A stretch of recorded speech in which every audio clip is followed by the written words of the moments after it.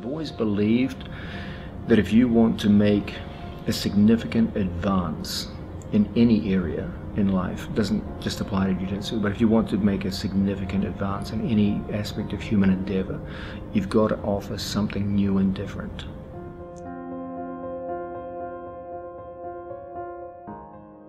If you just emulate what's come before you, it's difficult to rise above the things that you emulate. The best you can really do is to be as good as they were. It's hard to stand out in the crowd if you're just emulating.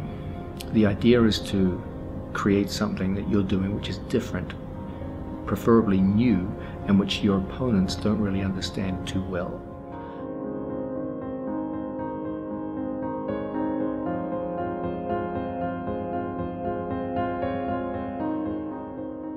if you can create in some niche area of the game a knowledge advantage where your athletes know exactly what they need to do and their opponents don't, you're probably going to do pretty well.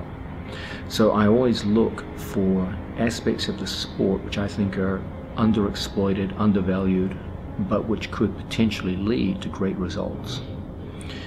Um, there was an obvious one in jiu-jitsu in the legs um, Jiu-Jitsu had been a very, very well-developed sport in terms of positional control, upper body submissions. Most of the territory was pretty well known, but the lower body lagged far behind. And so that was an obvious candidate to start a uh, program of trying to create something new, something interesting in the sport, and getting good results. But I've always believed innovation is a key element to some kind of success. The other idea um, was to assess what I thought the reason for the success of Jiu-Jitsu was in its earliest days. The real reason is because Jiu-Jitsu, the classic system of Jiu-Jitsu, works as a system. It's actually a very simple system, and, and like all combat systems, that's a virtue. The simpler the system, the, in general, the more effective it'll be in the hurly-burly and craziness of a, of a fight. Jiu-Jitsu is this very simple four-part system based on first, getting your opponent down to the ground. Okay? In general, people are much easier to control on the ground than they are in a standing position. Step number two, get past your opponent's legs. The legs represent danger. Uh, if you have a skilled grappler, almost all of the main submission holds, triangles, jujigatames, they're all set up through the use of the legs. So getting past the legs represents getting past one of the main dangers that you face once you're on top of somebody.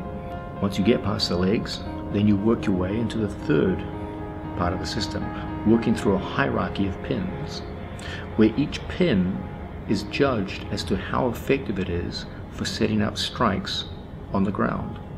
And so the mounted position and the rear mount score the highest amount of points. And then finally, there's a fourth stage, submitting your opponent. When you've hit him enough that he's making obvious mistakes, and the arms are extended or the neck is exposed, you go into a stranglehold, an arm lock, etc., etc.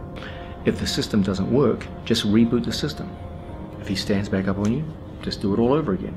Take him down, pass his legs, work your way through the pins, and finish him. So at any given moment, regardless of where they were, every jiu-jitsu player knew where they had to go. They had a sense of direction. And in a crisis situation, a man with a sense of direction will almost always survive and go on to win. But the moment an athlete loses direction in a crisis situation, he'll drown right there on the floor. You have no idea what to do and he'll quit. He'll find ways to quit.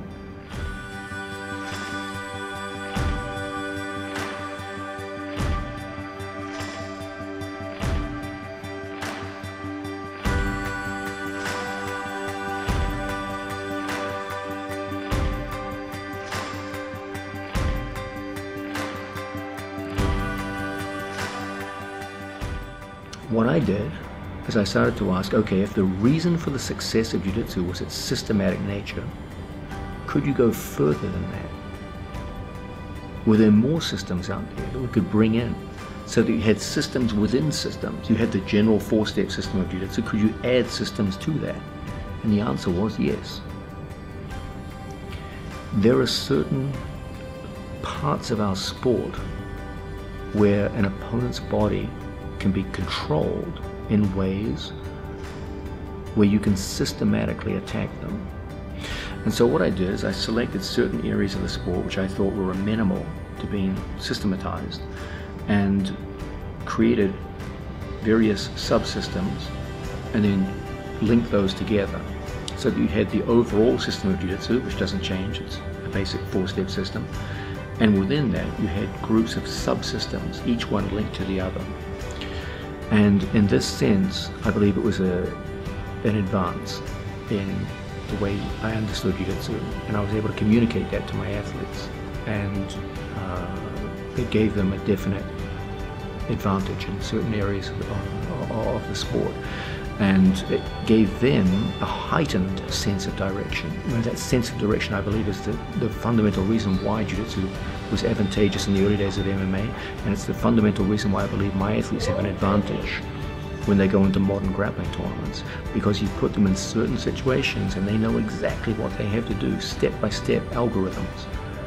Their opponents are wondering what they should do. There's doubt, there's, there's confusion. There's no confusion on the part of my guys. They know exactly where they have to go. Everything's been mapped out in advance. They've drilled it a thousand times. They've done it with each other 10,000 times.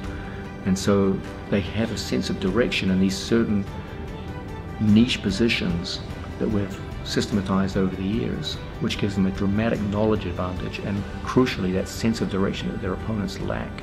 And once they get into those areas, it's very, very hard to, to work against them.